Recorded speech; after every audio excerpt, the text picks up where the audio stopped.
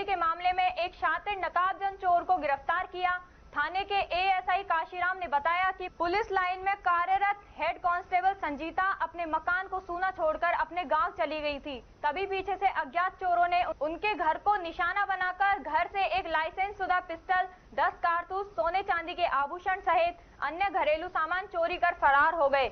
इस मामले में पुलिस ने पूर्व में एक आरोपी को गिरफ़्तार किया।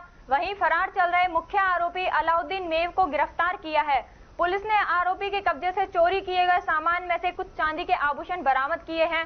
पुलिस ने बताया आरोपी अलाउद्दीन शातिर किस्म का बदमाश है, जिस पर चोरी, लूटपाट, मारपीट व आर्म्स एक्ट के कई मुकदमे दर्ज हैं।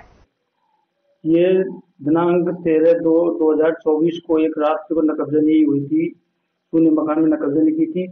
ये इसमें से एक आरोपी को पहले पूर्व में गिरफ़्तार कर लिया एक आरोपी को परसों प्रोटेक्शन वारंट पे लिया है जेल से जिसका नाम अल, अलादीन और अलाउ सन ऑफ़ सुबेदीन जाति में उम्र चौबीस साल निवासी सामोला का रहने वाला है जिससे घटना में चोरी किए गए जेवरात में से चांदी के जेवर बरामद किए हैं और जिसको आज न्यायालय में पेश किया जाएगा। इस पर और भी कोई आपराधिक मुकदमे है चोरी के? हाँ इस पर आपराधिक मुकदमे भी हैं चोरी के भी हैं आर्म्स एक्ट के भी हैं मारपीट की भी है कई मुकदमे आज दिन अपराधी है दिन अपराधी क्या नाम है आपका? काशीराम शर्मा ये सही थाना वैसे